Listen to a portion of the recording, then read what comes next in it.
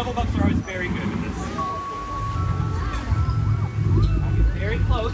Remember get very close to her though. You want it, you want her to be able to touch you and smell you. She's very tactile. She's gonna want to get to know you. Very good. Don't be don't be shy though. Don't be nervous. Yeah, be confident. Very good. A pack You're good. Awesome. Thank you. Awesome. Thank you guys. So Good girl.